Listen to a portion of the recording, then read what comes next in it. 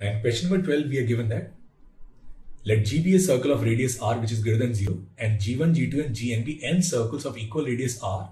Suppose that each of n circles touches the circle externally and each circle touches its next circle and Gn touches G1. So we have this circle whose radius is r and then we have these circles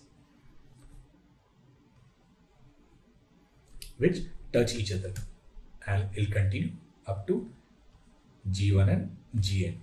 Now, if we look at any two circles,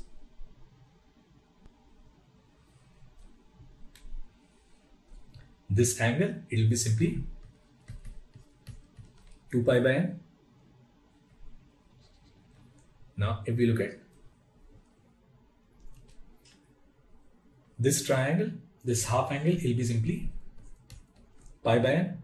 This small radius is r, this is r and this capital radius is capital R. So from here we can write sine pi by n, it will be equal to r upon r plus r.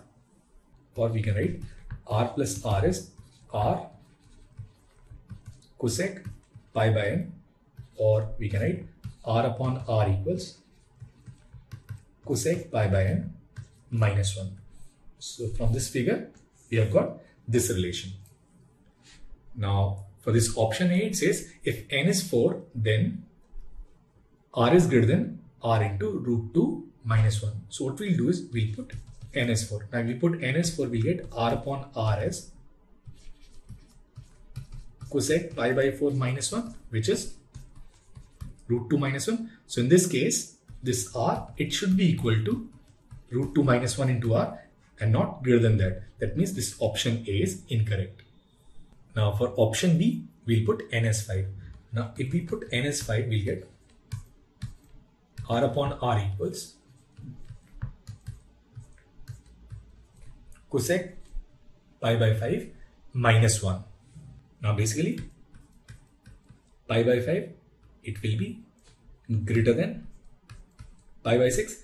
Now cosec, it is a decreasing function. So we can write cosec pi by 5, it will be less than cosec pi by 6 and cosec pi by 6 is 2. So from here we can write cosec pi by 5 minus 1 it will be less than 1. So this value will be less than 1. So from here we can write r should be less than r. That means this option B is also incorrect. Now for this option C, we'll take n as 8.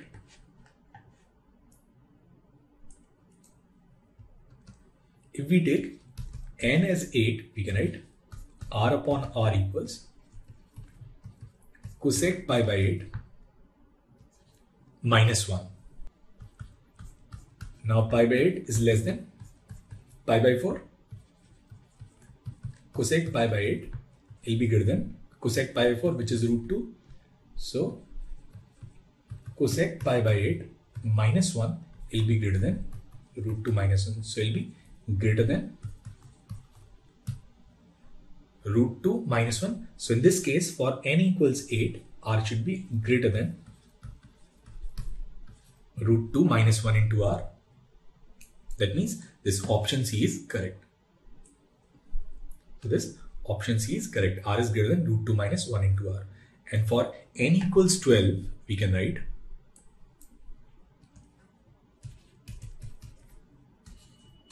r upon RS cosec pi by 12 minus 1. So this is cosec 15 degrees minus 1. Now cosec 15 degrees is 2 root 2 root 3 minus 1 and then minus 1. Now we'll rationalize it. So it'll be this root 2 into root 3 plus 1 minus 1 and it will be less than root 2 into root 3 plus 1. So from here we can write r should be less than root 2 into root 3 plus 1 into r. That means this option D is also correct. So the only correct options are C and D.